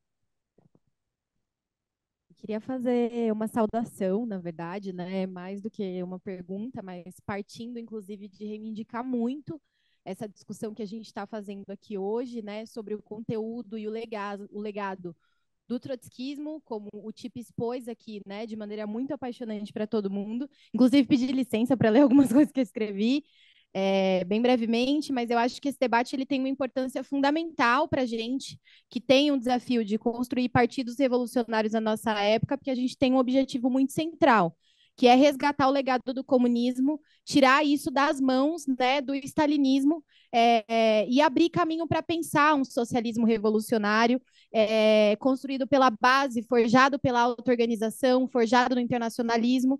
E esse legado do trotskismo é o que permite hoje a gente voltar a pensar né, na revolução como uma tarefa da nossa época para acabar com as catástrofes que o capitalismo prepara e impõe para a classe trabalhadora a nível mundial. E esse legado é o que nos inspirou a lutar, né, e a estar em cada luta ao lado dos trabalhadores, como nas lutas dos professores, nas lutas dos metroviários contra a privatização do metrô, que o Tarcísio quer impor, é, ao lado dos trabalhadores da Sabesp, ao lado das trabalhadoras terceirizadas, como a gente viu essa semana, e é um orgulho para a gente poder lutar ao lado da nossa classe, tendo esse legado que o TIP explanou aqui muito bem como um grande motor, né? É, e como a gente sabe, a luta de classes ela se dá não apenas em um, mas em vários terrenos. E agora a gente também vai viver essa batalha num terreno muito importante, que é o terreno das eleições, né? E uma batalha que a gente quer travar sobretudo pela independência de classe. Por isso é muito valioso a gente ter um exemplo tão importante como o PTS, que é o nosso partido irmão na Argentina, né? E ter, inclusive, a oportunidade de, de fazer essa atividade com o TIP no, no, no agosto, é, que a gente está tá pensando tematicamente aqui na Casa Marx. E é nesse sentido e à luz né, desse desafio que a gente está, com muita alegria, construindo uma candidatura coletiva que é a bancada comunista, que eu tenho o prazer de encabeçar ao lado dos meus camaradas, da Letícia Parques, do Marcelo Pablito, a Leti, que fez a tradução aqui, o Pablito, trabalhador da USP, que todo mundo conhece, e isso para centralmente fortalecer a luta dos trabalhadores e semear ideias, né, pensadas pelo nosso partido nas suas minúcias. Ideias como as que a gente vai batalhar, né, a necessidade de lutar contra o arcabouço fiscal do Lula Alckmin, a necessidade de questionar o privilégio dos juízes e dos políticos, nesse sentido também levantar com muita força a bandeira da causa palestina, enfim, ideias que a gente levanta para fortalecer a classe trabalhadora exatamente para que sejam as e os trabalhadores a se verem como sujeitos, né, é, que podem transformar e verem a força que eles têm para confiar em si mesmo e para confiar na sua unidade, na sua capacidade de mudar tudo quando eles entram em cena. E a gente acha que essas ideias elas abrem caminho para a gente discutir uma saída anticapitalista e revolucionária que a gente inclusive está aqui hoje porque acredita que é, são ideias necessárias, né, para a classe trabalhadora. Então, nesse sentido, também quero reivindicar muito, né, cada batalha do PTS na FIT, porque a gente sabe que o PTS atua na luta de classes e também atua para fazer a luta de classes ecoar num terreno parlamentar e que é um grandíssimo exemplo, uma grande inspiração para a gente nesse momento que a gente vai travar essa batalha aqui. Inclusive, é um exemplo também de como enfrentar a extrema-direita lá do Javier Milei, né, é, de forma independente do reformismo dos, dos, peronistas que a gente vê, né, é, e essa tarefa que é uma tarefa que a gente também tem aqui diante do governo de frente ampla do Lula e Alckmin, que a gente sabe que só tem feito fortalecer a extrema-direita através da política de conciliação de classes, mas também atacar a classe trabalhadora com medidas como é o arcabouço fiscal, né? É, e essa frente ampla, inclusive, tem variantes nas eleições municipais aqui de São Paulo, com a candidatura do Boulos, por exemplo, né, que a gente sabe que é permeada de contradições, como a gente viu no debate ontem à noite, mas como a gente está vendo também no decorrer dessa campanha, que a gente vê que cujas saídas que são apresentadas para a classe trabalhadora só passam por fortalecer o poder repressivo da polícia, por atacar é, e se aliar com setores inimigos da nossa classe, e a expressão máxima disso é a participação da própria Marta na chapa, que a gente sabe que cumpriu um papel decisivo para aprovar uma reforma nefasta contra o povo trabalhador, que foi a reforma trabalhista, né? É, então, contra tudo isso, eu acho que a gente tem sim né, que se apoiar no trotskismo vivo, esse que a gente está celebrando agora, nesse agosto, na Casa Marx, mas também para poder levar adiante essa campanha militante, e eu acho que ela pode ser muito amplificada, né? É, por todas as vozes que estão aqui e que ela tem que ser amplificadora das ideias comunistas e revolucionárias para fortalecer os trabalhadores e abrir caminho para uma organização independente da nossa classe. A exemplo né, da inspiradora fala que o TIP fez aqui, a exemplo do, do, da própria batalha do PTS. Eu acho que é o momento da gente se apoiar no trotskismo com muita força para travar, travar essa batalha nas eleições. Eu acho que todos nós aqui podemos cumprir um papel muito decisivo nessa campanha. Obrigada, gente.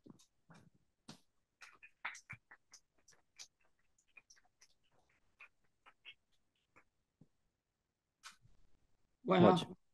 ¿contesto? ¿No? Um momento, Chip. Sim.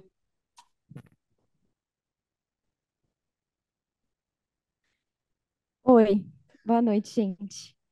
É, Não, na verdade, eu, eu queria perguntar uma, uma coisa, porque, na verdade, é, a gente tem visto, né, nesse último período, aqui no Brasil, mas acho que em outros países também, como a ideia de comunismo tem voltado bastante né, para o imaginário, enfim, de setores mais jovens, da própria juventude, é, mas que isso muitas vezes vem acompanhado da ideia é, do stalinismo, né?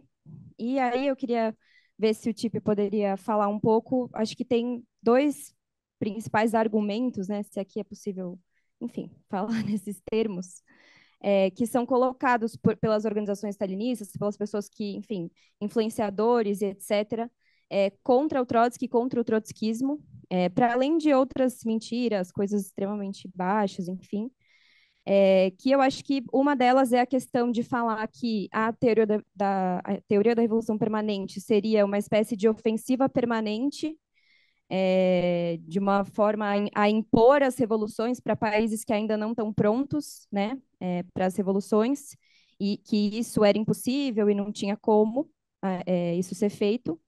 E um outro, uma outra questão de que é, buscam toda hora separar né, o Lenin do Trotsky, é, dizendo que o Trotsky seria contra é, os camponeses, né, enfim, buscando colocar um, é, enfim, o Trotsky nesse campo, assim. É, e eu acho que são, enfim, para além dessas, tem outras questões que os stalinistas sempre retomam e colocam, mas eu acho que sempre é importante a gente ver como, é, enfim, responder essas questões e tudo, usando da, da, da própria teoria da evolução permanente. Eu queria ver se o tipo poderia comentar, só, enfim, um pouco sobre isso. Ahora, Chipi, Eh, Chipi, puedes contestar. te piden que Sí, sí, ahí voy, ahí voy. conteste y, y cierre la, la actividad también. Es un poco un montón de Bueno, cosas, pero no hay problema. te pongo este Bueno, a ver, desafío. Vamos a ver si, si puedo contestar al menos algunas cosas. No todo, pero algunas cosas vamos a tratar de contestar. Eh, lo primero que preguntaba André, lo de los eu vou 30, si era voluntarista. Bueno, no, primeiro, se porque eh, voluntarista, si, si, tr- si no surgía la Cuarta. Internacional, eh, lo único que hubiese quedado era el estalinismo. Entonces, eh, Trotsky se preparaba para una dinámica que era que Trotsky la guerra desate situaciones revolucionarias. eh, Ahora, eh, la Cuarta Internacional con. Trotsky era una cosa, sin Trotsky era Agora, otra. a Quarta Internacional com Eh, Trotsky uma coisa e y- com, sem y se Trotsky dio parcialmente el pronóstico que Trotsky tenía hacia la guerra. o sea, de la guerra surge una oleada revolucionaria de la Segunda Guerra Mundial, muy importante, eh, pero se da una paradoja, que es que el um estalinismo no, no implosiona. El estalinismo sale reforzado de la guerra porque el Estado obrero resiste más. Entonces vamos a tener una paradoja de la salida de la Segunda Guerra Mundial. Y por eso las filas de la Cuarta. Internacional resistieron como pudieron, se incrementaron, eh, pero luego terminaron este, eh, volviendo, eh, perdiendo parte del filo revolucionario que, Trotsky le había dado. Eh, ahora, sin la fundación de la Cuarta y sin esa tradición de lucha, siempre el movimiento trotskista fue lo más a izquierda que hubo en la realidad de la izquierda mundial, eh, não haveria o que foi de este, mais esquerda sus, eh, eh, na realidade sus elementos que nosotros le criticamos a, lo que fue el movimiento trotskista en, la segunda posguerra. Eh, en- nosotros no, de, de dónde hubiésemos tenido una alternativa al estalinismo. Eh, Es não nosotros tenemos hoy para ofrecer una alternativa porque justamente Trotsky dio esa lucha por la fundación de la Cuarta y nos dejó esa herencia y ese legado, eh, que tomamos obviamente como punto de partida. Ahora bien, eh, algo que quería señalar es que que nosotros no somos eh, que una religión trotskista. Nosotros partimos de la tradición de Trotsky y de todas sus elaboraciones teóricas y las estudiamos, las tratamos de conocer, de pensar, de analizar, tratamos de también eh, elas haciendo un trotskismo que, que um abreva en lo mejor que podemos aprender de todas las tradiciones revolucionarias. todas Por ejemplo, incorporamos la obra de Gramsci, leímos a críticamente a de Toni Negri, eh, leímos a, a marxistas con los que tenemos eh, diferencias políticas como Daniel Ben Said en su momento, y, y- a Clausewitz para pensar el problema militar y, y- todo, o sea, permanentemente tratamos de enriquecer el trotskismo con, todo lo que podemos aprender teóricamente para pensar cómo mejor expresar la alternativa revolucionaria, la alternativa alternativa comunista a, revolucionária, a este alternativa sistema, ¿no? Y el- esse eh, sistema, tanto en análisis como en programa y tanto na perspectiva. análise Entonces, como no eh, programa. digo esto porque hay muchos grupos trotskistas que repiten la letra de Trotsky sin, sin entender el contenido profundo, ¿no? Y, y hay incluso trotskistas que nos han criticado por utilizar a Gramsci, lo cual es un poco insólito. Eh, pero bueno, nosotros queremos ser una, una corriente trotskista que realice un trotskista marxismo creativo. Eh, marxismo hay un muy buen artículo de, de Matías bom y Emilio do donde Matias planteamos el tema de la cooperación Abamonte, social de la clase obrera como, social como, classe como obreira la como productora de la riqueza social a partir de la cooperación socializada para oponer a, a la idea de los libertarios de que el mundo es, es de individuos que, que, indivíduo, que- que cada uno se relaciona en el mercado y eso es lo que explica cómo el mundo se mueve, a esa idea tan eh, move. errada y, y mentirosa É de lo que es la, la realidad de cómo funciona el mundo. a Bueno, oponer que ya el propio capitalismo se basa en la cooperación social para que los capitalistas se para apropien de la riqueza que genera esa cooperación y nosotros al revés. que gera essa Partir apropriação de e eso nós, ao para cómo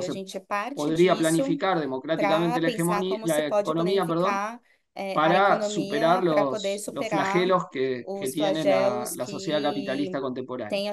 capitalista contemporánea. Eh, entonces digo, eh, entonces, esto es importante porque a lo que tenemos que aspirar es que, que compañeras y compañeros como ustedes eh, eh sean marxistas, eh, vocês, creativos y creativas para desarrollar la teoría eh, con perspectiva estratégica para transformar el, el, mundo que tenemos. ¿no? Y en ese marco discutir los desafíos políticos que hay, obviamente que nos tocan en cada uno de nuestros países dentro de una perspectiva internacionalista, porque eh, no es el mismo el escenario que tienen ustedes con el gobierno de Lula el que tenemos nosotros con el gobierno de Milei. Es decir, son dos escenarios diferentes. diferentes. o el que tiene ustedes, donde hay una izquierda reformista fuerte en el poder en Brasil, mientras que eh, en Argentina el nombre de la izquierda lo tenemos las fuerzas trotskistas.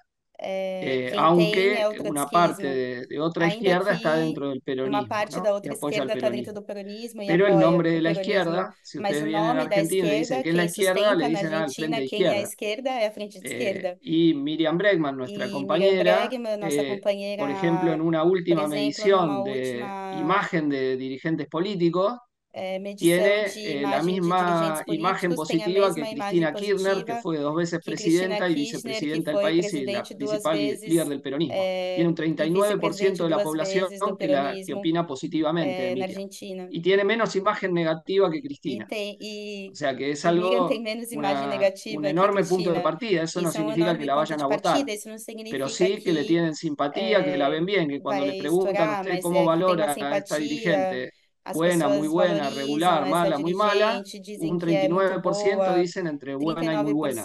La imagen de Miriam, que es altísima. Que sea más o menos... Isso é eh, muitíssimo. Toses, toses. Que se ha duplicado desde el, fin del gobierno peronista y y la asunción del gobierno de, extrema derecha de Milei por el rol que, hemos jugado en la lucha contra, contra Milei y, y, a la vez como el peronismo se ha borrado de, de toda esa lucha.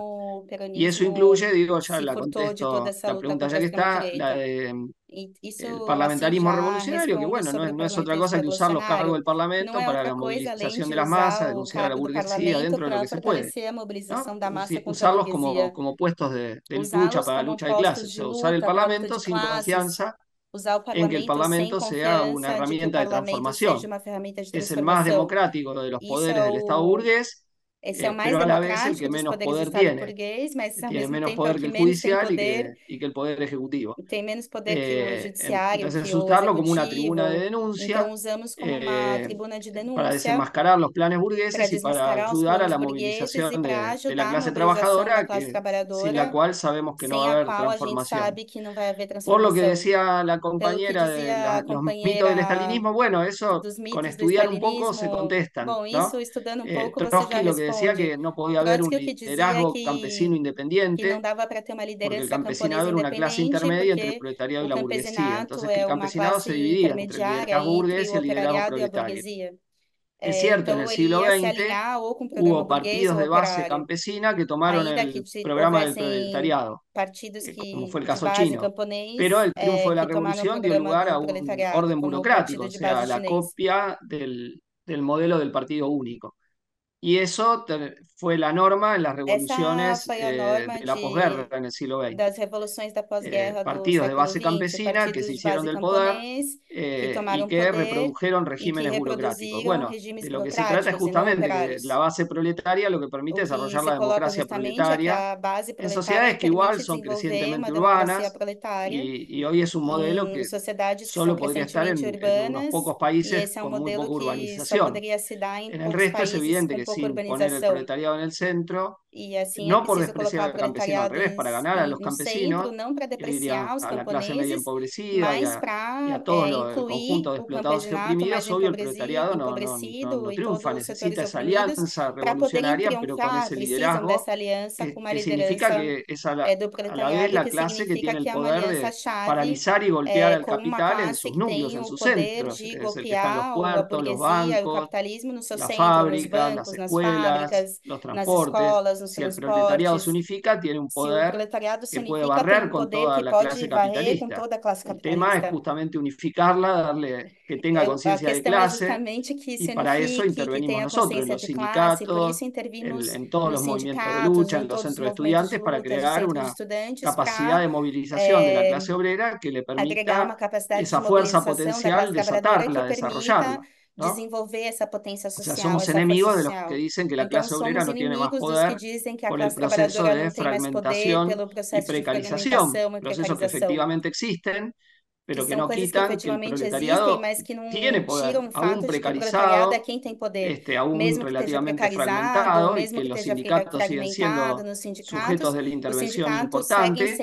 pero nosotros lo de, unir eh, a los precarizados con los efectivos, luchando por la unidad de la clase trabajadora, este, no colaborando a su eh, Trotsky decía eh, que la, Internacional, no tenía lugar para quienes no pelean dentro de los sindicatos y a la vez combatía fuertemente el sindicalismo corporativo, diciendo que una gran parte de la masa obrera no estaba en los sindicatos y permanentemente había, cuando había ascenso de lucha, había que crear organizaciones que incorporen a las masas proletarias no sindicalizadas. Y nosotros a muerte con de Trabajamos los sindicatos por tratar de darle una dirección revolucionaria y a la vez no limitarnos a la lucha sindical o corporativa, sino tratar de, de, unificar a toda la clase obrera para empezar a de autodeterminación de que permanentemente surgen cuando hay revoluciones, levantamientos, la pero que las distintas burocracias quieren eh, bloquear y frear.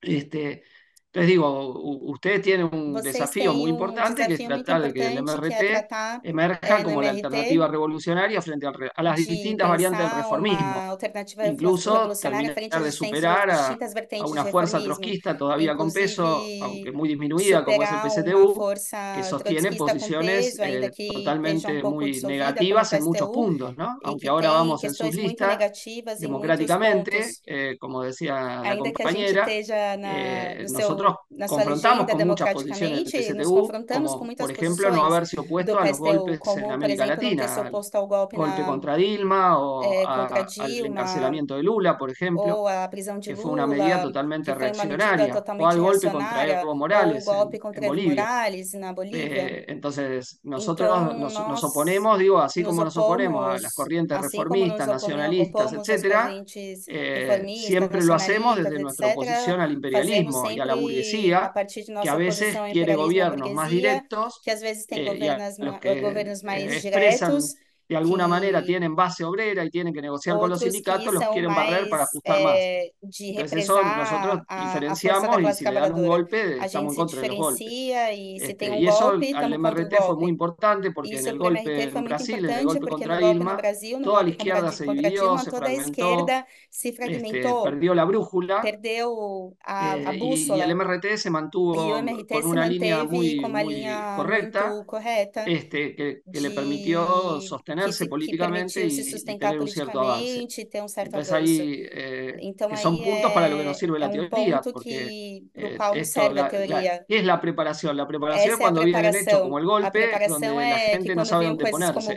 A gente sabe, de lado una parte de la izquierda no supo dónde estar y estuvo lado del golpe.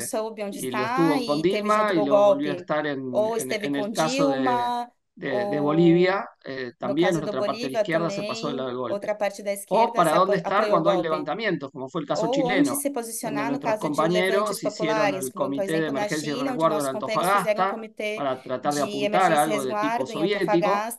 O intervinieron tratando de plantear que, que la clase obrera se ligue a la revuelta para encabezarla, cosa que tanto el PC como los populistas se oponían. Entonces, la, la preparación teórica es para cuando vienen golpe, que fue como os muy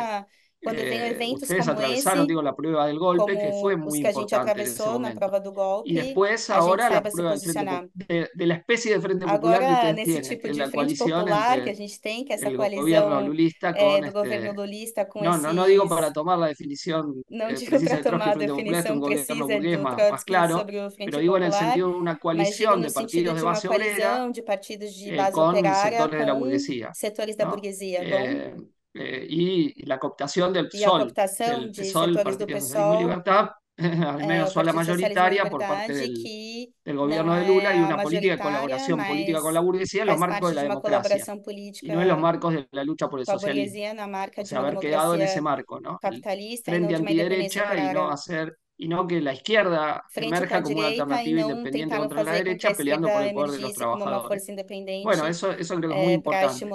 Este, y evidentemente sí, eh, combatir digo, al, al estalinismo, yo dije algunas de, la, de, las cosas que hice, lo de revolución permanente es una revolución al mismo tiempo en todos los países, es una ridiculez, Trotsky no decía eso sino mantener una perspectiva eh, internacionalista para cuando em esses países hay situaciones revolucionarias colaborar con que triunfen. ¿no? que se pueden inventar las revoluciones ni, ni, ni poner un día, planeta, che, hoy hacemos toda la revolución, sería ridículo, es una payasada, entonces está lista. Pero hay gente que quiere ser ignorante, solo se puede sostener esas, ignorando esas leer, querem, leer la historia, leer las posiciones de Trotsky, discutir. Nosotros tenemos que tratarlo de, como lo que son. Y además que aspiran a un régimen totalitario y burocrático. Nosotros queremos la democracia soviética. Ahora, eh, si, eh, a ellos les tenemos que decir, ¿vos qué querés? ¿Que el socialismo no sé, algo definido por una burocracia totalitaria o, o que la población intervenga democráticamente en el, en el, debate sobre cómo se tiene que construir la economía. Sobre, que hoy es facilísimo con los medios técnicos que tenemos. Esto mismo, que la población eh, se conecte para ver y debatir entre tres, cuatro planes eh, económicos y, discutir cómo organizaría la economía de una sociedad. Bueno, nosotros queremos esto, democracia soviética eh, y, y, la, y, la, planificación democrática de los recursos económicos. Vos que decís que no, que tiene que haber un partido totalitario con un servicio de inteligencia que te esté matando todos los días y oprimiendo. Bueno, andate vos con eso, yo no quiero eso. Yo quiero una sociedad más democrática que la burguesa, no menos no democrática burguesa, menos. Nosotros criticamos la democracia burguesa criticamos no por lo que queremos menos eh, libertad democrática, más querer menos reales, liberdade democrática. No que sean ficción de libertad para después morirte de hambre no poder hacer ejercicio real de las decisiones, eh, o que decía solo parcialmente y luego son los monopolios los que definen. Nosotros queremos la real implicación del movimiento de masa en la decisión de su destino. Bueno, eso, eso nos, diferencia de todo el resto de, de las Así queremos un nuevo tipo de democracia sin eh, que eso signifique que cuando hay lucha por libertades democráticas en la sociedad burguesa, intervenimos en defensa de esas libertades democráticas como ser el derecho a ser candidato que, que tenía Lula cuando se lo sacaron con una complicación entre juez Moro nos marcos e, da democracia e capitalista. la burguesía y la red Globo. que por eh, contra y, Moro, el poder judicial. Entonces nosotros nos oponemos a todas las maniobras antidemocráticas dentro de la democracia burguesa, no porque defendamos la democracia burguesa como está, sino porque aspiramos a una democracia infinitamente superior. Y el que no sabe luchar contra las maniobras antidemocráticas dentro de este régimen, bueno, se hunde. O no creamos expectativas en el poder judicial, como hizo o hace todavía gran parte de la izquierda en Brasil, luego de la caída de Bolsonaro. Bolsonaro. Como faz grande como parte la extrema da, derecha la vamos a frenar con, con decisiones de, de los jueces de la Suprema Corte, del Tribunal Supremo, que a, sino que lo vamos a, a, a, derrotar con la movilización de la clase trabajadora, su propia movilización, su propia organización, ¿no? y, y, quitándole la base y, popular al, al bolsonarismo que una y otra vez va a reaparecer, si no hay un movimiento popular, eh, obrero militante creciente cada vez más fuerte, que es lo que todas las direcciones popular, reformistas frenan, creen que pueden desde la administración del Estado manejar las cosas y después se ven, eh, se ven derrotadas por los propios acontecimientos y cuando y tienen ahí, que movilizar no tienen capacidad de movilizar, como le pasó no al propio PT y Lula, a pesar de que habían que tenido gobierno hasta hacía poco, y a la CUT incapaces totalmente de, una movilización de masas para enfrentar la ofensiva reaccionaria. Al revés, nosotros queremos dar al movimiento de masa eh, confianza, capacidad en sus propias fuerzas para derrotar a, a la extrema derecha este, y también para superar para reformismo.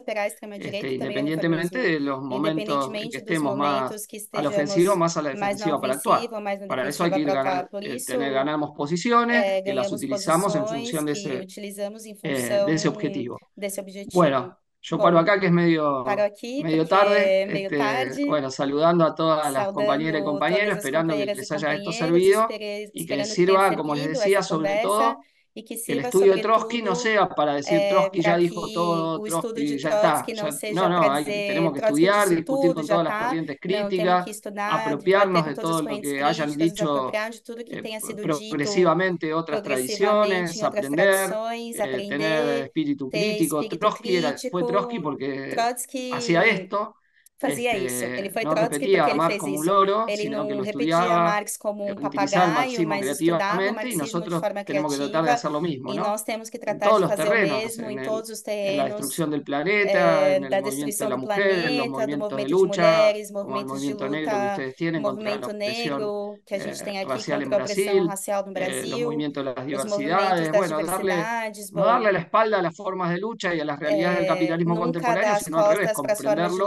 para para desarrollar nuestra estrategia de, que si la clase trabajadora no, no logra tomar el poder en un conjunto de eh, países y construir otra sociedad, bueno, el, capitalismo nos, nos lleva por delante, ¿no? Siempre nos gusta utilizar la, la afirmación de, de Walter Benjamin de pensar la revolución como el freno de emergencia, o sea, pensar el mundo capitalista como un tren que va al desastre y la é, revolución como el freno de emergencia que, trem que que para eso, estamos hoy en esa dinámica, esse eh, en, desastre. la- en una dinámica donde el capitalismo nos va a llevar a nuevas guerras de destrucción o a la destrucción del planeta si no logramos revoluciones que eh, operen como freno de emergencia, ¿no?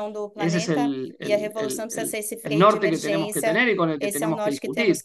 Es decir, vamos a, a una pelea por la eh, vamos cada vez más brutal, más militarista, hegemonia eh, que incluso puede inclu- eh, dar lugar a, a guerra, a una guerra nuclear que eh, que destruya la, la humanidad como tal, si no logramos una serie de revoluciones tal, que, que frenen esto. Este es el desafío que, que nosotros se tenemos y, y el conocimiento la obra de Trotsky es una herramienta clave para, para hacia dónde queremos ir, ¿no? Eh, para, para construir esa herramienta revolucionaria que e para seguir los acontecimientos. Bueno, eh, muchas gracias compañeras, compañeros. Espero que, que esto Muito les haya resultado companheiras e companheiros, e espero que tenha sido útil.